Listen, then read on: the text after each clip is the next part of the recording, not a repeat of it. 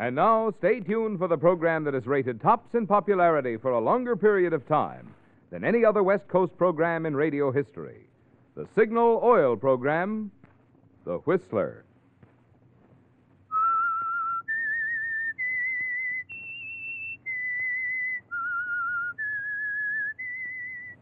S I G N A L. Signal. Signal gasoline. Signal, the famous Go Farther gasoline, invite you to sit back and enjoy another strange story by The Whistler. For extra driving pleasure, the signal to look for is the yellow and black circle sign that identifies signal service stations from Canada to Mexico. And for Sunday evening listening pleasure, the signal to listen for is this whistle that identifies the signal oil program, The Whistler.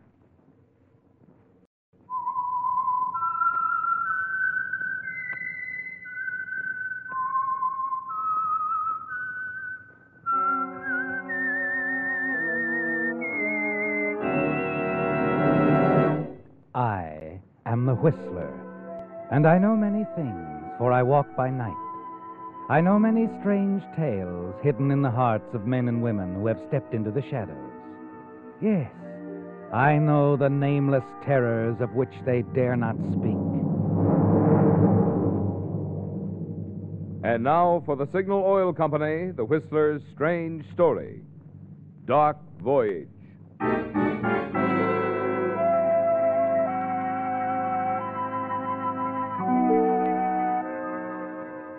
The crowd gathered quickly at the end of the pier and didn't disperse when the police arrived and took over, urging them back and shouting orders.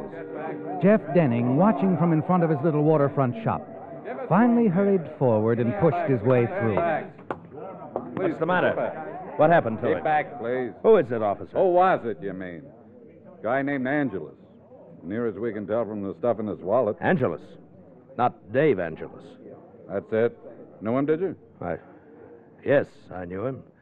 He used to come into my shop. They think he drowned, Jeff. It doesn't look like it to me. What? If it's foul play, we'll get to the bottom. All right, folks, let's move back. Foul play. With old Dave? Why, no, he didn't have an enemy in the world. He, he was a friend to all of us down here. That's right, Jeff. He had friends everywhere, old Dave. All over the world.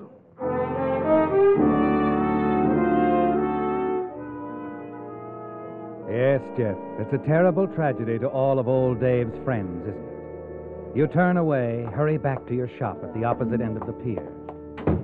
But once inside, your expression of grief is replaced by an odd smile. A smile that's a mixture of amusement and determination.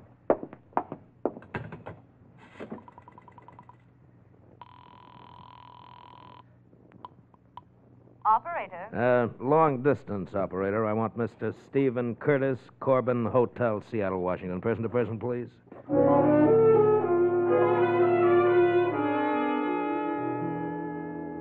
Wait a minute, Steve. I tell you, the schooner's there. I've got the maps. I know her exact position. Lots of guys have had maps. Steve, I'll pay your way down here. Split on what we can salvage, and it'll be plenty. I tell you, we can't miss. She in deep water? Well, not too deep. I, I tried myself, but, well, you know, ever since that injury to my chest. I- Okay, I'm between salvage jobs here anyway. Fly down in a few days. Is That all right? Uh, no. M- Make it tomorrow. Steve, I tell you, this thing is big. It's our chance of a lifetime. Okay, okay, tomorrow. First plane out. Ah, that's better. My shop's on Pier 9. If I'm not there, ask for me at the Red Angel Cafe. Red Angel.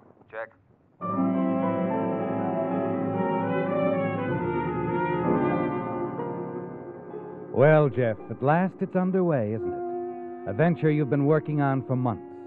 The pieces are beginning to fit together. A map of a certain section of ocean floor off the Pacific coast. A goal. And now Steve Curtis, a man who could easily help you attain it. The following evening, waiting for Steve at the Red Angel Cafe. It's all you can do to keep from telling someone else how rich you're going to be. How the pair of you could share it all. But you reason that there's a time and place. That your months of waiting for an answer from Fay Atkins might soon be over. And for now, you content yourself as usual to sit far back in the smoke shrouded room and listen as Fay finishes a song. My sweet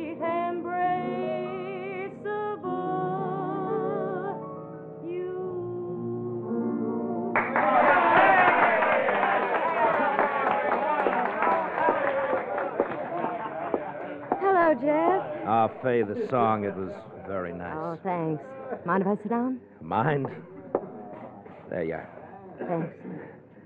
Uh, Fay, when are you going to... Going to let you take me out of all this, Oh, Fay, if you just say the word, we could make a go of it, the two of us.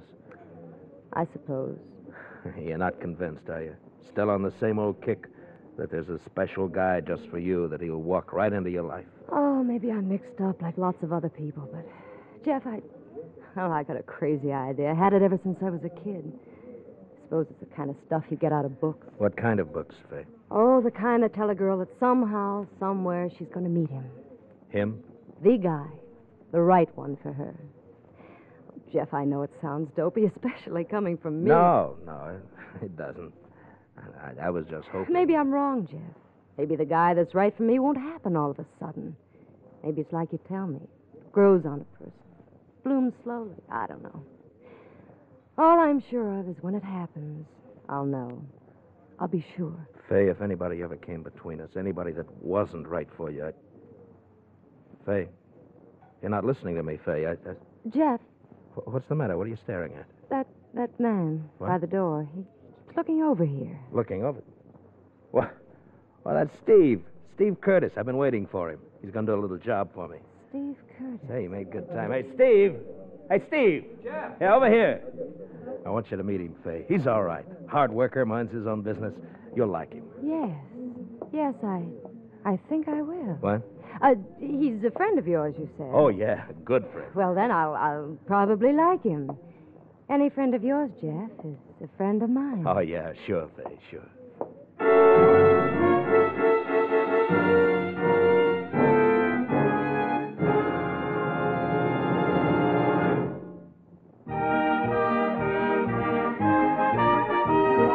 Tonight's $20 Signal gasoline book goes to Richard G. Armstrong of Imperial Beach, California, for this limerick.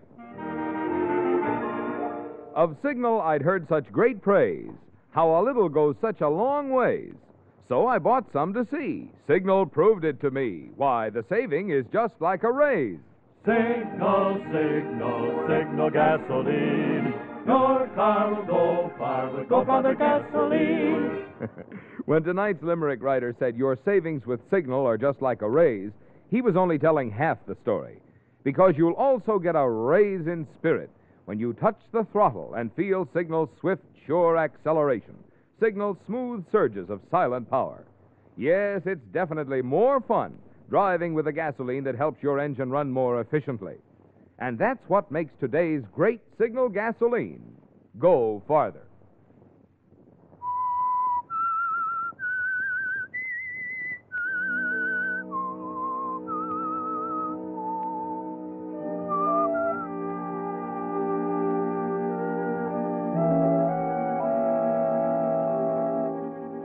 The meeting is brief, isn't it, Jeff? And you and Fay and Steve only talk for a few minutes. But somehow you have difficulty taking your eyes from Fay's face because of what you see there as she looks across at Steve Curtis. Steve doesn't seem to notice, but you're not sure. To you, there's an unmistakable light in her eyes, something you haven't seen before. You want to leap up and scream at him, but you don't. No.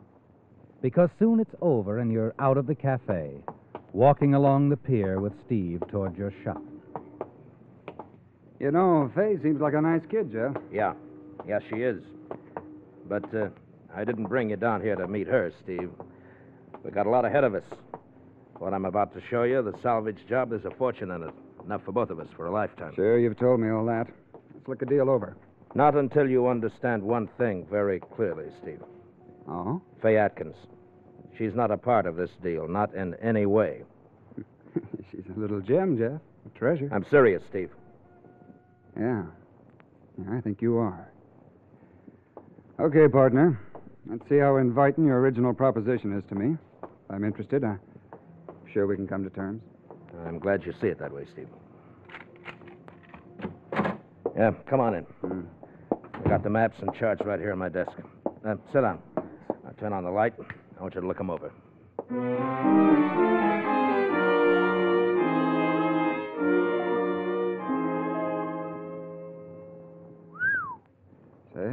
Look okay. You really think there's almost half a million bucks aboard? That this guy Van Balen. I tell you, Steve, that schooner was loaded. Van Balen had chartered her out of Malaya trying to make San Francisco. Hmm. Happened just at the outbreak of the war. Uh, this uh, this map, Jeff. Where'd you get it? I, uh, an old friend. Oh, now wait a minute. That means a three-way cut. I, I thought you the, said it was uh, just. friend met with an accident. He's out of it. Oh, I see. Well, shake, partner. We're in business. Uh, your terms. You won't have any trouble reaching the schooner in the diving suit. huh? No, no, not with this layout to go by.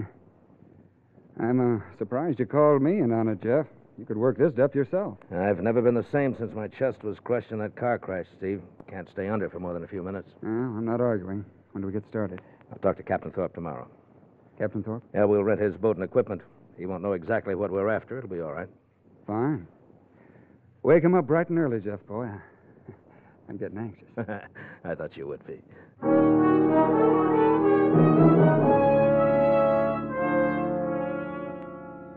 Look, Captain Thorpe, I've hired your boat before, and there weren't any questions. Is it a deal or not? There are other boats, you know, plenty of them. Just asking, Mr. Denham. Like to know how to load supplies and all. You know how it is? Yeah, sure, I know, and I'll tell you all about it in due time. Well, how about it? Yeah. Yeah, I'll take you. Any course you need. 150 a day. Pay in advance. Wait a minute, isn't that a little high?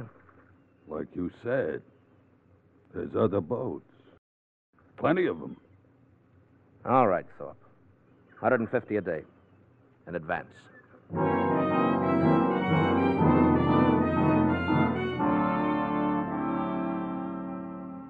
Leaving Captain Thorpe, your heart pounds, doesn't it, Jeff? It's getting closer, your big dream, the money, and eventually Faye Atkins. That night, you hurry back to the Red Angel Cafe to talk to her. When you catch sight of something and stop and stare, it's Steve. Steve and Faye together near the pier railing in back of the cafe. You slip forward cautiously and make your way to a point where you can overhear without being No, seen. no, you're wrong. Listen, Fay, I, I do know how you feel. It, it happened to me the same way, like that. But it's no good. Because Jeff's offered you something else?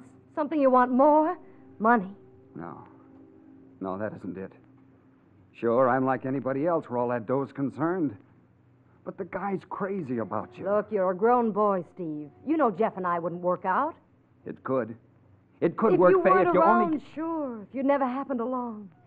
I wasn't one kind of woman on the outside, but a, a little girl inside who's seen some candy she's got to have. You're talking like a kid. Why did it happen to you? Tell me, Steve, why did it happen to you in the same way, the same instant it happened to me? Like that, you said. Did you mean it? Did you? Sure. Sure, I, I meant it. But I'm walking away from this, see? Jeff wants the money, that's all. Don't tell me you're the same. He wants you. You, Fay. He's, he's told me Oh, many I'm times. Sorry, I'm really sorry for, for Jeff, for you, and maybe most of all for myself. I don't get it. Just this, Steve.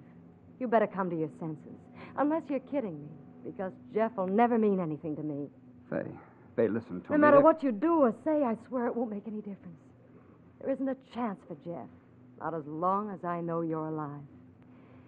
You might as well know it. Fay, you're crazy. Just plain crazy. Mm, that was settled a long time ago. It's the things I'm crazy about that still matter. And as long as you're around, Steve, I'm crazy about you. You've lost her, haven't you, Jeff? And you stand there struggling to control the murderous rage that builds within you. Finally, you turn, hurry away. Faye's words keep boring into your brain. And you know that as long as Steve is around, as long as he lives, that Faye will never marry you. You decide to say nothing to them, but they're on your mind, Faye and Steve, all that following day. And you're making plans. Plans that have nothing to do with your search for the sunken ship. Then on the morning you're to sail, you're with Captain Thorpe in his cabin aboard ship checking last minute details. As you leave him, step out on the deck. You see Steve standing near the gangway. Fay is with him.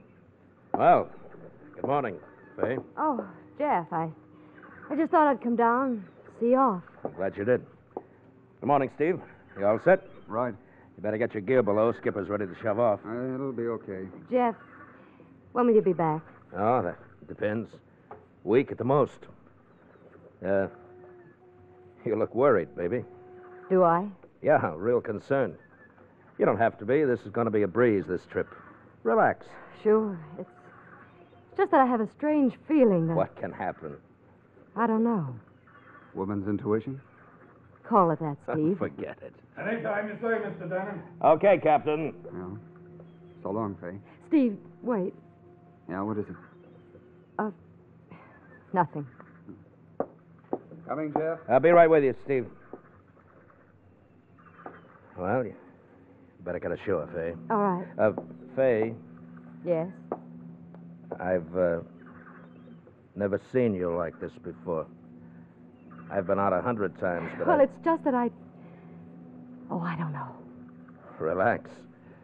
Nothing's going to happen to me, baby. Not a thing.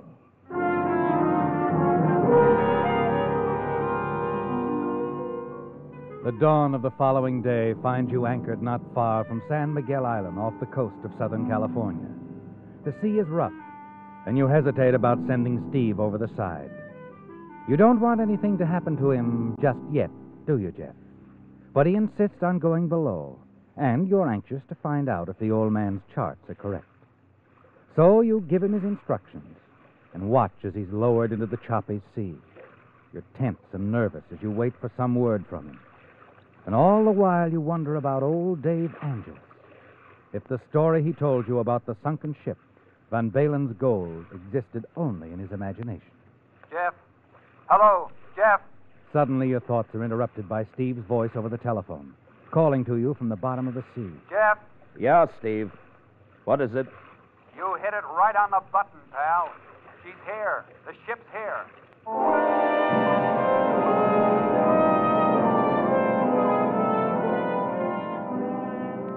As you continue to talk with Steve, you try to remain calm, don't you, Jeff? But inside, you're trembling with excitement. The old man was right all along. You found the ship. There's almost half a million dollars down there. And you intend to have it. Find what you're looking for, Mr. Denham. What? Oh, Captain Thorpe. Yeah, we found what we were looking for. Good. What's the name of this ship? Maybe I know of her. What makes you think it's a ship? What else? Look, Thorpe, we made a deal, remember? 150 bucks a day and no questions asked? Yeah, yeah, sure. Let's just leave it that way, huh? Okay. I was just wondering if it. Jeff? Yeah, Steve. The ship's rocking pretty badly down here. She's on a lead. All right. Don't take any chances. Come on up. Okay. Say, I found something in one of the cabins. Looks like a strong box. Probably isn't what we're after, but I thought you might want to look it over. Bring it up.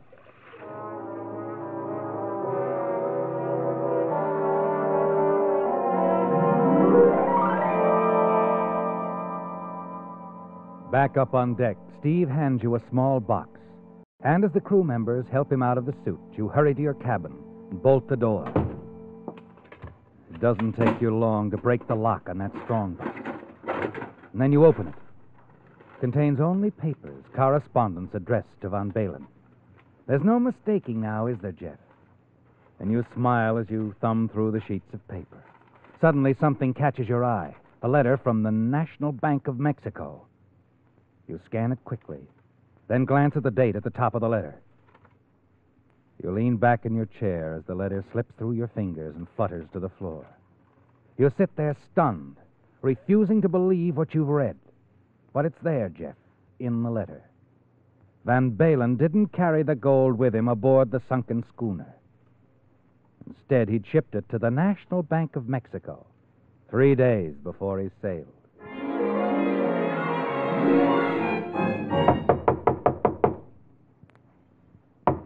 Jeff, open up. It's Steve.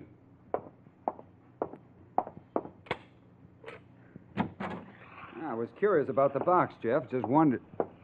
What's the matter? Nothing? Nothing? Oh, see, you got it open. Anything interesting in it? Uh, just some of Van Balen's papers, that's all. Well, at least we're sure the old guy was aboard, huh? Yeah. Van Balen was aboard. Hmm. Look, uh, Jeff, Captain Thorpe thinks the sea will calm down by nightfall. Uh, you want me to try again? No, we'll wait till morning. Why wait if the sea is. We'll wait. Okay, you're the boss.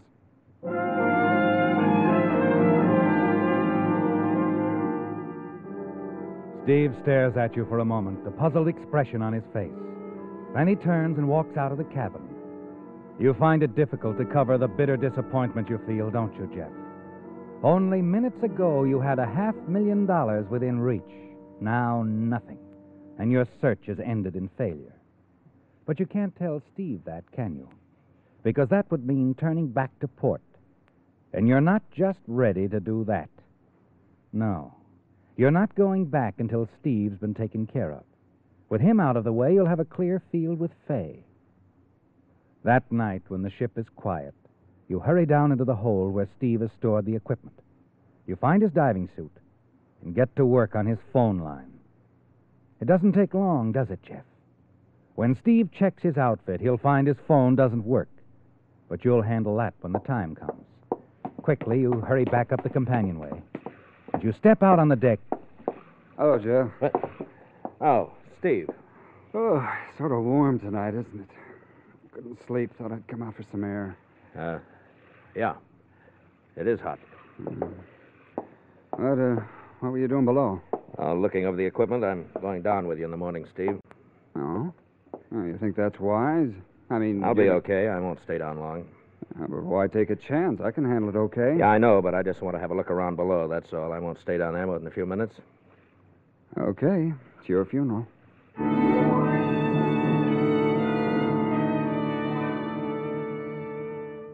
Dawn the following morning. You're on deck, already in your suit, when Steve shows up. As one of the hands on the skipper assist him, you give instructions. Tell him exactly what he's to do below. And then, as his helmet is fastened on, Hey, uh, Jeff, something wrong with my phone. Oh? I can't get a rise out of it. Well, mine's okay. I checked it a few minutes ago. Well, it doesn't make much difference, I suppose, as long as one of the phones is operating. Be up to you to keep in touch with the ship. Yeah, sure. Okay, Skipper. Guess we're ready.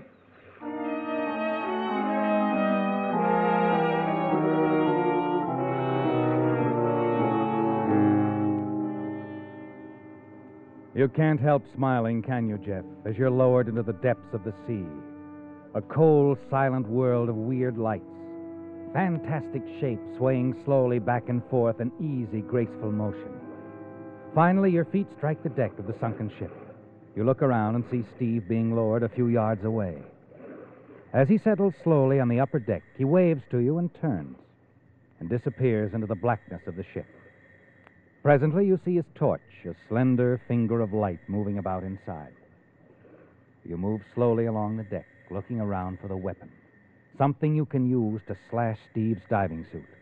Finally, you see it a short, flat iron rod, part of the deck support. You examine the sharp, jagged edges. A perfect weapon, Jeff. You tug at it, pry it loose from the rotted planks. Yes, it will be just the thing to rip open his suit.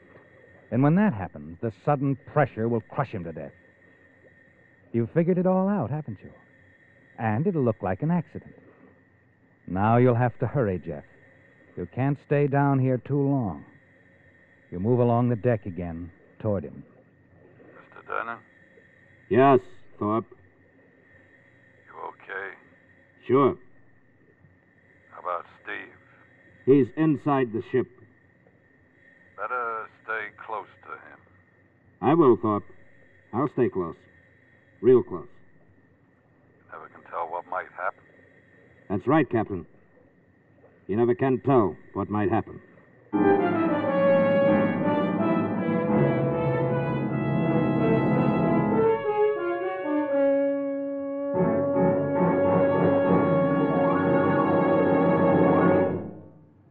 Here's a free offer no card player will want to miss. The most asked questions on Canasta have been answered in an attractive folder prepared especially for Signal Oil Company by Robert Lee Johnson, the only Pacific Coast member of the National Canasta Laws Commission. You'll appreciate the easy to follow explanations of Mr. Johnson, who has written and lectured widely on Canasta. With this handy folder, you'll be able to put an end to all arguments about melding, taking the discard pile, and other disputed points. And you'll win the arguments because you'll be quoting not opinion, but the official rulings of the National Canasta Laws Commission. Yes, this folder is something you simply must have if you play canasta or ever expect to play canasta. And you can have one free at any signal station. No obligation, no purchase required. That means, of course, that the demand will be great. So I'd suggest that you see your nearest signal dealer soon and ask for your free canasta folder.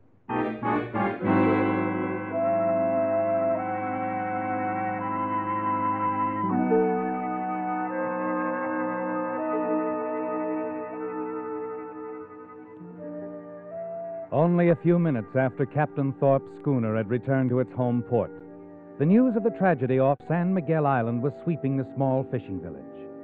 Men and women of the community stood in tight little groups along the waterfront, talking in low tones, shaking their heads.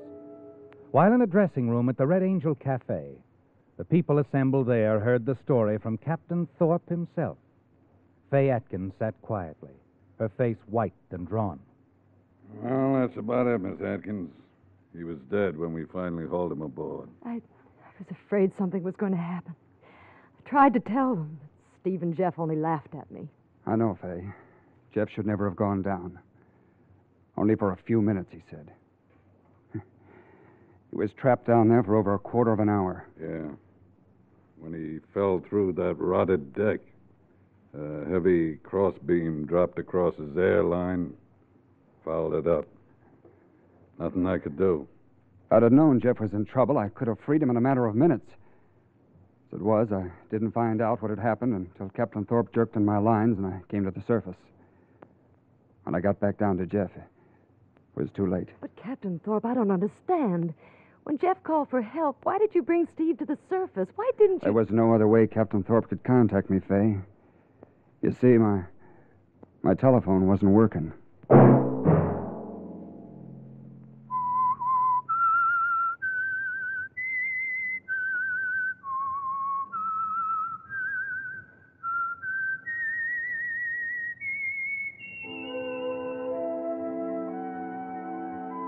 Let that whistle be your signal for the Signal Oil program, The Whistler, each Sunday night at this same time.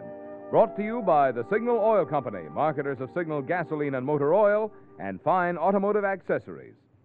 Remember, friends, this Sunday is the last time limericks will be used on The Whistler, because next Sunday, Signal will announce something big, new, and exciting that you'll all be interested in.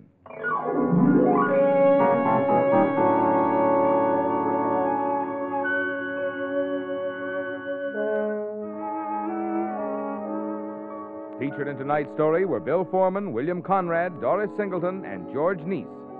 The Whistler was produced and directed by George W. Allen, with story by Joel Malone, music by Wilbur Hatch, and was transmitted to our troops overseas by the Armed Forces Radio Service.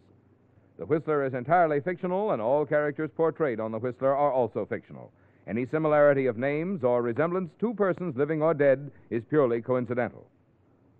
Remember, at this same time next Sunday, another strange tale by The Whistler.